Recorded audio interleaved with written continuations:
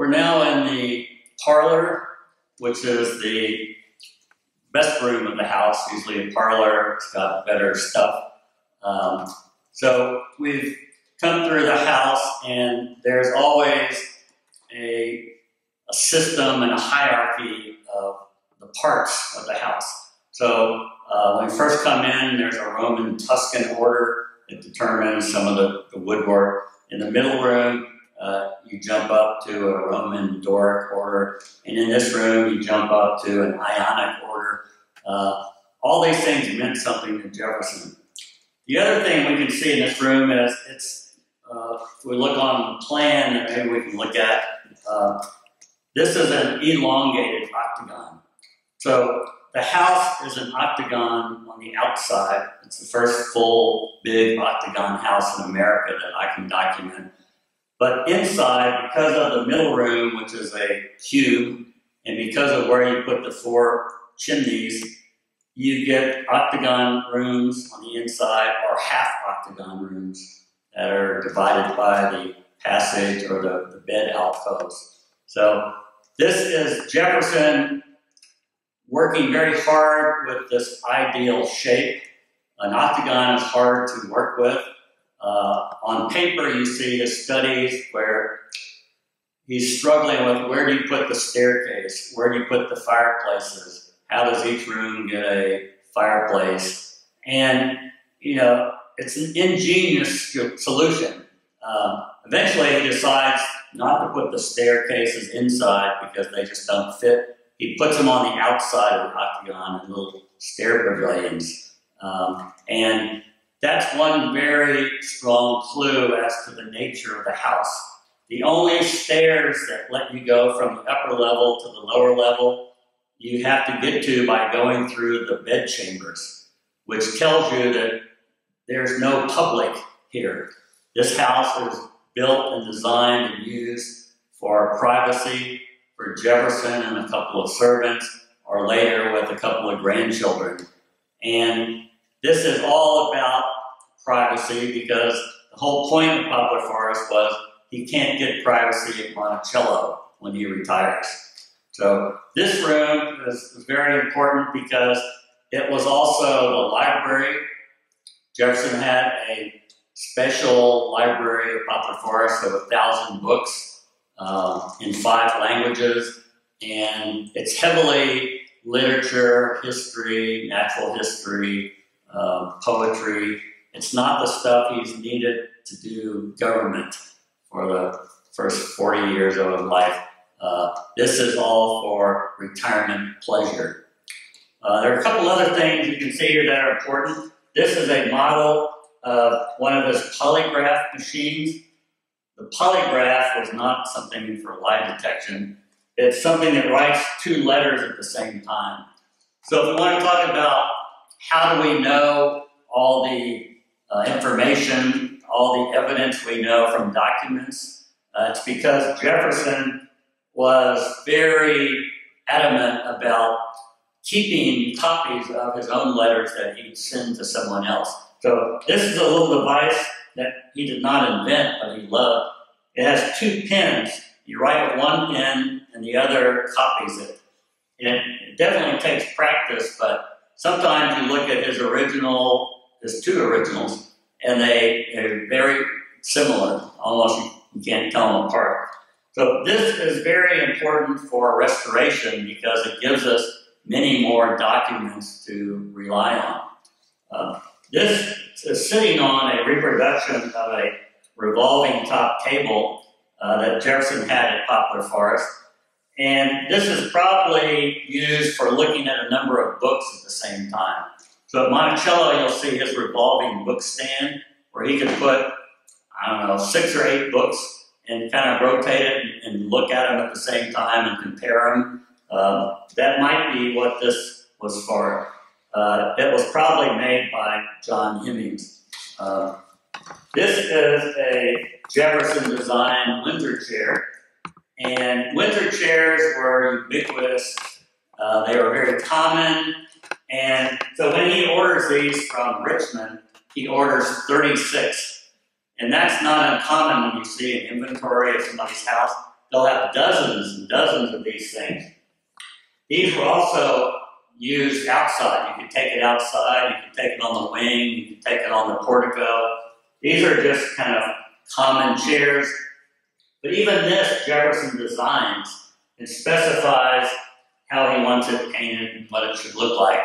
Uh, so even the most common thing he is fiddling with and making changes to. So again, this, if you look at all the things in the house, this is very autobiographical. Uh, Monticello, for a long time, has been called an autobiography in architecture. Poplar Forest is, is true, and maybe if Monticello is the autobiography, Poplar Forest, you could say, is the secret diary. Uh, but he's still using all of his favorite things. And one of the, the benefits of, of this project that we can now, after 30 years, analyze is, you know, what does this all mean? And, uh, you know, all these little parts, so what? You know, what's their history? Uh, where are they used? Why did they use them? And in a sense, Poplar Forest has been the missing link between Monticello and the University of Virginia, and it, it now ties everything together. But only because we've been able to analyze it and uh, read the evidence and uh, put it all together. Um, in a sense, this has been kind of a, golden era of Jefferson restoration because Monticello's been restored constantly, but especially in the 1980s and 90s. UVA has been restoring all the buildings on the lawn that Jefferson so carefully designed and specified and supervised. And Poplar Forest is in the middle of that history. And so without the process of restoration, investigation, and the research that supports it, we wouldn't know all of this new information about Jefferson, the architect, and Jefferson, the builder.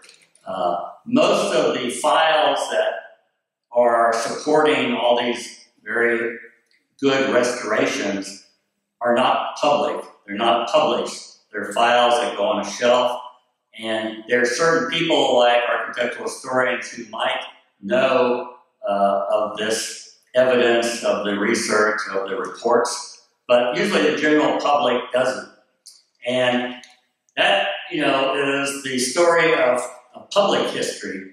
Uh, why are we doing all this? Why do we go to such lengths to do the authentic materials and craftsmanship? We've been making all of these moldings by hand with hand tools, not machine tools. Why do we go to all that trouble? Well, it's because most people get their history from visiting historic sites.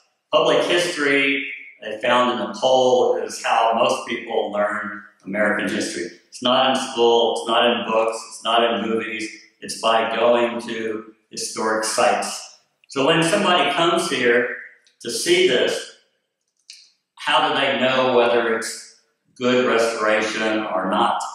Well, they really don't, uh, unless they have access to, you know, the history of the project. That's not a reason to, to cut corners. Uh, you do it with a sense of authenticity that gives you, I think, a spirit, uh, essence of all the right things. And in this way, if you can get the context correct, and people come into the context and hear some stories and see the windows and the doors, they get a closer connection to the historical story and to uh, what happened here. And in this case, in particular, this is Jefferson's most private, intimate place. And if he's a mystery man and you can't quite figure out Poplar Forest is where he would really kind of be himself. Uh, and so that's been the challenge is to figure out what did he build for his own pleasure that he didn't intend anybody else to see. Why would you build a perfect work of architecture and not invite all your friends to see it?